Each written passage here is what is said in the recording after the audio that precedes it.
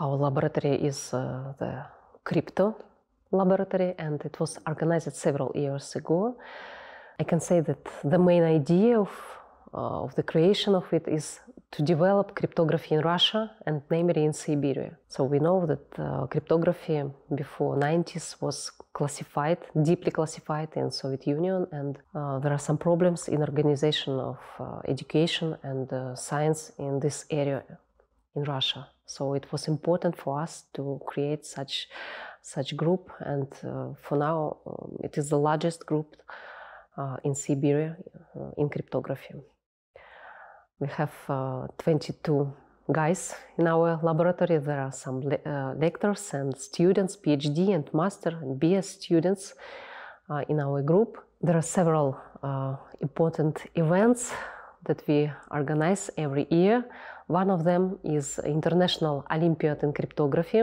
Uh, it was organized seven years uh, before. At first, it was like a Siberian Olympiad in cryptography, but now it is a well-known international event, and we have uh, thousands of participants from um, 68 countries for all the time. So uh, it is organized via internet, so there are no restrictions uh, for participation. And the main idea also of this Olympiad is uh, to provide scientific problems and to invite young researchers to join us to uh, make some achievement in this area. Another event is uh, a school conference on cryptography and information security. It is uh, the school for students where they have some lectures and also some scientific work in projects and also they published some results at the end of this uh, two weeks school. And this year um, it was organized in real uh, in reality in Novosibirsk University. There were 20 uh, lectors and 31 students. So all students were awarded by JetBrains Research at the end. And uh, it was very interesting uh, day by day work with them. So it was a good event. In relation to scientific results I can mention two directions. Uh, one of them is related to differential cryptanalysis of block ciphers. It is a new area for us, and this is a joint work with our colleague from United States, from the laboratory related to standardization in cryptography. We study how two differences uh, can be transformed via, via block cipher, namely what components will be active uh, with some special restrictions when we consider these differences, um, possible imagine that uh, we consider the block cipher as a block, black box and we study, uh, we put the first input into the, this box and consider the ciphertext as output.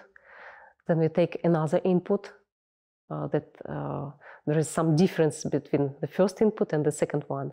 And we study what will be the difference between outputs and there are very uh, different problems related to mathematical aspects of uh, this method, also for different schemes of the cipher. When we study Feistel schemes, uh, SP networks, and ARX ciphers, and so on, so on. There are some special mathematical problems. So one of them we study.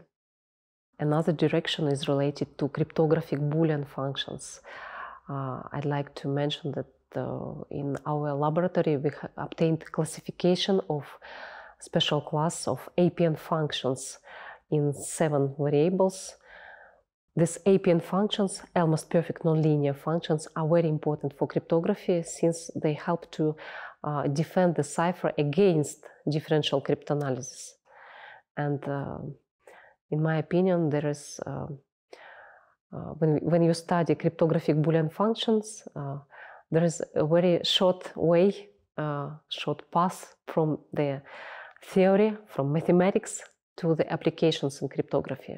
For instance, if you provide a very good construction, mathematical construction of a cryptographic Boolean function, then it, uh, it's possible to use it in practice uh, immediately, like it was done for FIDES cipher. Or also in AES, also has a construction of APN function as a S-box.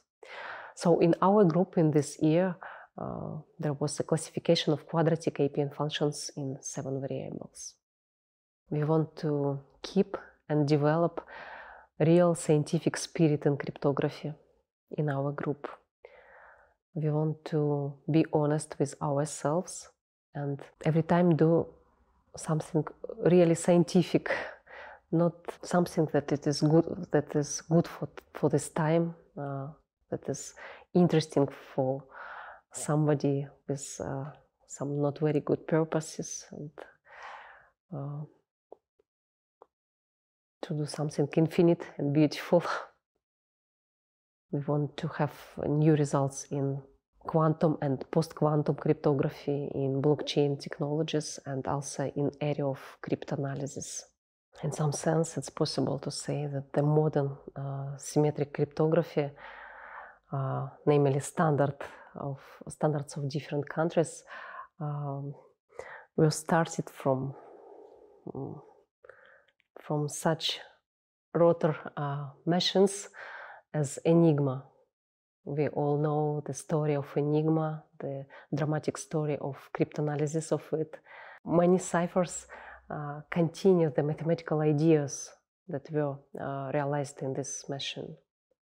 For practice, we think about um, creation of new ciphers and new cryptographic protocols, and also about some international uh, competitions in this area it is difficult, but we think about it.